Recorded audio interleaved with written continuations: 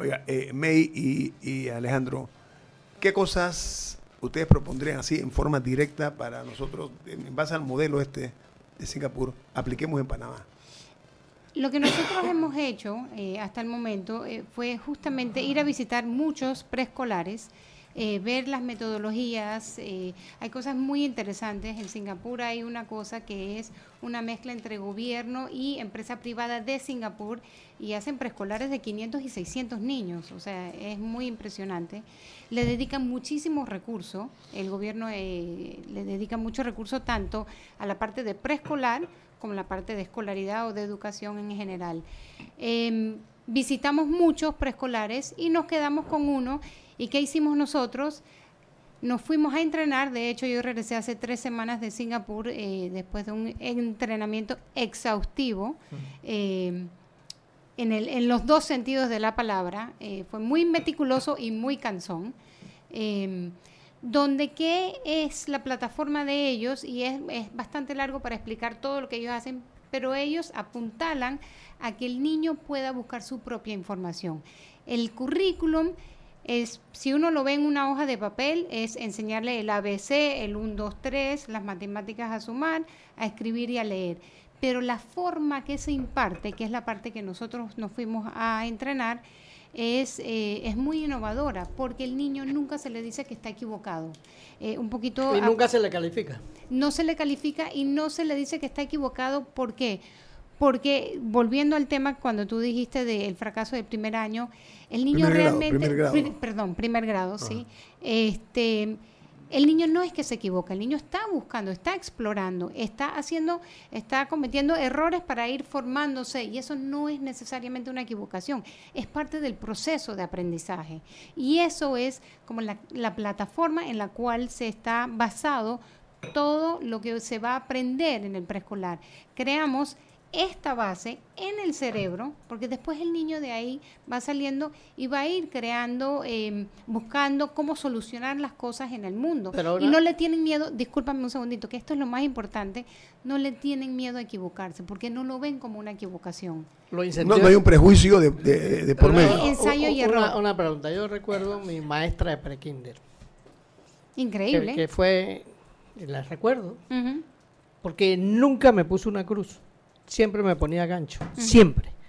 O sea, nunca me regañó. Andaba con su guitarra, cantaba. O sea, tener una maestra de prekinder así eh, eh, fue, fue, fue básico. Una, pregunta que te hago. ¿Incentivan al niño a preguntar? Claro. ¿O lo, o lo, lo reprenden? No, no, no. Al revés, no está Al revés. contrario. Al revés. O sea, eh, las preguntas son bienvenidas. No, es, que, si no hay preguntas, el niño no puede pensar. No razona, no razona adecuadamente. Ahora, la gente, la gente dice, no, hombre, lo que pasa es que Panamá es un país pequeño, somos muy chiquitos. No, no, pequeño, me decía Alejandro, es Singapur. Es del tamaño de Coiba, de la isla de Coiba. la isla, el 1% del territorio de Panamá no tiene agua. 4 millones de habitantes. No, 5.5 millones de habitantes. Imagínense ustedes. Todos metidos ahí. Y pero además, lo increíble, porque uno, uno se imagina eso, no oye esta relación del el tamaño de Coiba y 5.5 eh, millones de habitantes y uno dice, bueno, eso tiene que ser un área gris horrible. Es verde, pero es, pero es verde que uno le pega en la cara. Es extraordinario. Realmente ellos han hecho un gran trabajo y gran parte del esfuerzo de o, de, o de ese éxito de Singapur tiene que ver con su educación. Eso lo planteó Lee Kuan Yew desde el día uno, desde que él pensó, bueno, ahora ya estoy metido en este lío, ahora tengo que ver cómo resuelvo bueno, pero también entró a sangre y fuego. Sigo, está bien, está bien. Ese, es el mérito de una dictadura. Eh, está bien. Sí. Y, lo podemos ver así, si lo quieres ver así también. Pero por otro lado, una y otra vez ha probado que es un éxito número uno en, por ejemplo, el 90% de todas las personas en Singapur son dueñas de su casa. 90%, el segundo porcentaje más alto del mundo. Tiene, la, de acuerdo a, todos los estudios, eh, la segunda mejor eh, salud, sistema de salud del mundo, Singapur. Gratis. Lo mismo que la educación gratuita, de, que, es buenísima. Eh, por ejemplo, ellos tenían un problema igual que el de acá, que, un tráfico tremendo entre las 8 y 8 y 45, ¿verdad? Sí. Era así. ¿Qué decidieron hacer? Bueno, el metro es gratis, entre 8 y 8 y 45. Quien quiera usarlo, lo usa gratis. Ahora, eh, eh, hay que ver ¿cuánto le costaba en términos de productividad eso al país? Que la gente estuviera encerrada en un carro un montón de dinero. Hicieron los cálculos y dijeron, bueno, ahí regalemos el metro. Eso cuando tú mides impacto verdaderamente. Mira, ahora, no nos equivoquemos, Singapur es un país que tiene que 50 años. 52 años. 52 años. Pero volvemos con lo, que ustedes rescatan aplicable a Panamá.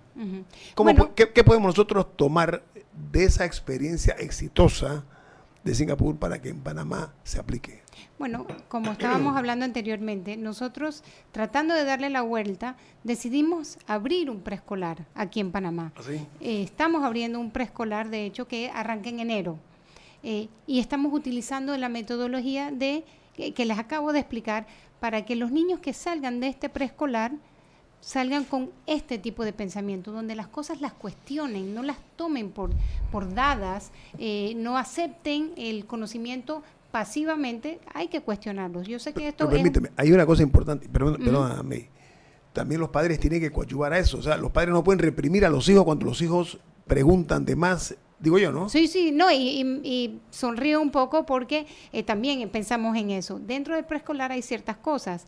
Estamos haciendo eh, talleres obligatorios en el sentido de, que es importante que vengan.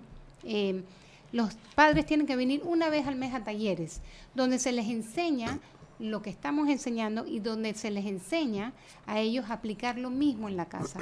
Pero hay un problema en Panamá con la desintegración familiar muchos hogares donde no hay ni papá, ni mamá, ni abuela. Los sectores populares más que todo. Sobre todo. Exacto. Entonces, ¿cómo? ¿Cómo, ¿Cómo, la masticamos? Ok, al principio... Porque esas son las realidades de, nuestro país. Ahora mismo este, nosotros estamos empezando este preescolar, que es un preescolar bastante elite, o sea, estamos apuntando al 1% de la población. Hay que ser honestos porque para que funcione tenemos que hacer esto. Nuestra idea a mediano plazo es tratar de bajar esto a lo que es la clase media. Pero eso, eso sería un segundo paso. Primero tenemos que ser exitosos con el primero, que la gente compre lo que estamos diciendo, porque esto funciona en Singapur y efectivamente nosotros estamos apostando que va a funcionar acá, porque estamos tratando de blindarnos desde todas las áreas para que esto funcione, para después hacer un segundo paso. Eh, en la clase media sí hay mucha desintegración familiar, pero eh, los talleres, por ejemplo, que estarían, eh, estarían apuntalando al padre de familia que trabaja son en las noches, o sea, después de las horas de oficina, para que el padre pueda venir y el padre que esté interesado en, ayudar a su hijo va a ir. Ahora, la otra pregunta es los maestros. La calidad de los maestros en Panamá ya no es como antes, la gente lo veía como un apostolado. Claro hoy día está en duda eso de que los maestros verdaderamente tengan esa vocación sí, y que se le dé reconocimiento, que creo que es más importante. Claro, claro.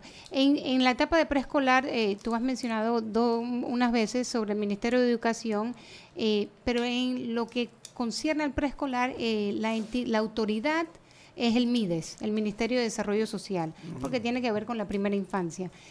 antes sí estaba bajo la autoridad del, del MEDUCA, pero creo que fue en la época de Mireya que pasó al MIDES. Este, eso nos permite bastante flexibilidad porque nosotros estamos eh, contratando la mayoría, si no me equivoco todos, los maestros son psicólogos y entrenados.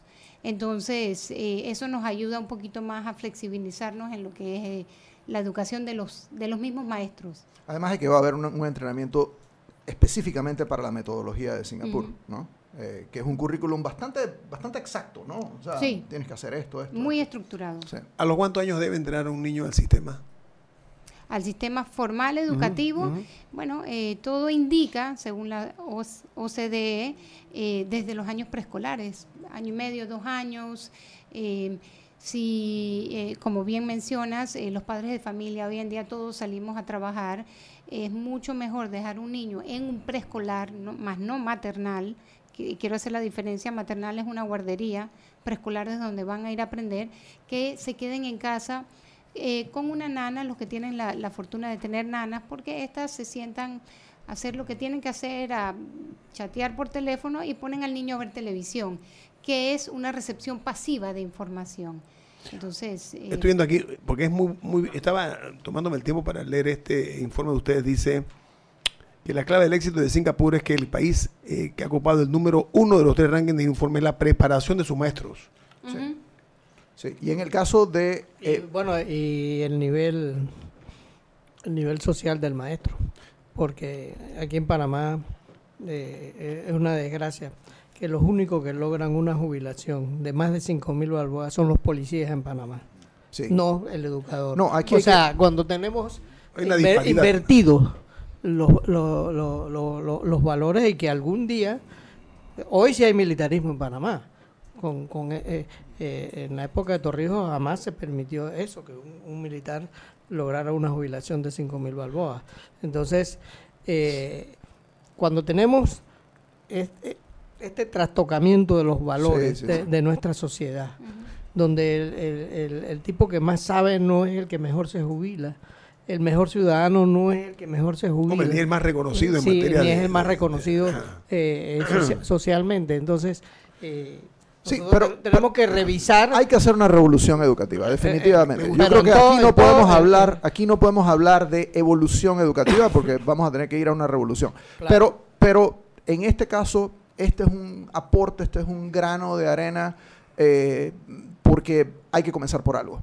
Y, y, y, si había que comenzar por algo, porque una de mis frustraciones es que yo siempre estuve en, en la educación terciaria. Yo, yo, yo, yo eh, fui eh, profesor de la universidad por 20 años casi. Uh, y ya me daba cuenta que ahí era, ahí, era muy tarde. Ahí ya no había nada que hacer. Yo, yo te escuché a ti hablar de eso exactamente, Rubén. Y ahí no hay nada que hacer. Digo, el que es bueno es bueno y el que es malo es malo cuando llegó a ese punto. No, el que viene bien formado lo está y el que no, no. Pues así Por eso, fácil. Así, ya, ya se vuelve, se vuelve blanco y negro, binario el asunto. Oye, Alejandro, eh, tú hablas de comenzar por algún lugar. Esto es el inicio de una segunda, eh, eh, una continuación de este programa porque nos hemos quedado por razones del tiempo corto. Sí desde ya te invito para no comprometerte, sino para con, las consideraciones propias, claro. que consideres de repente la otra semana venir aquí a InfoAnálisis para ampliar más sobre el tema que tiene que ver con todos nosotros y con el país. ¿Te parece? Gusto. May igual. May Díaz, Alejandro Fernández, gracias por estar con nosotros. Y Cleverest se llama Cleverest. Hablaremos de Cleverest eh, la otra semana, ¿ok? Ok. El equipo de Infoanálisis. Rubén Murga. Guillermo Antonio Dames, nos vamos. Gracias.